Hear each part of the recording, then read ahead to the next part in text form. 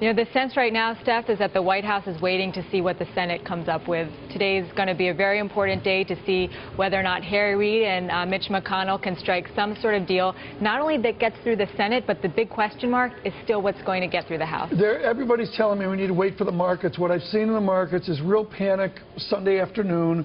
We opened, it was down, but not that big deal. And we've actually had a modest recovery in the last hour. Why? That's certainly not what White House officials were expecting or necessarily wanting this morning. They want they some were drama. All, they were all bracing for there to be some negative market reaction. They think that that's going to be the fire uh, to light under everyone. Yeah. Do you think we're going to see President Obama today? I remember late last week, I'm looking at my BlackBerry as guys on the street are saying, I saw Obama speak, looks like we're going to have a six-week extension, it's going to happen. Four days later, three days later, nada. So the way that the White House thinks about this, they don't want the president to go out there unless there's anything to say. And right now, it doesn't look like But hold on, do you think Well- he's had something to say the last three times we've seen him on TV?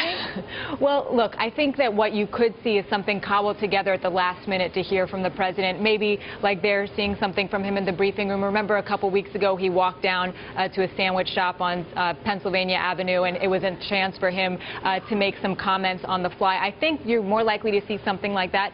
I wouldn't rule out the idea of a primetime address sometime in the next few days before we get to the 17th.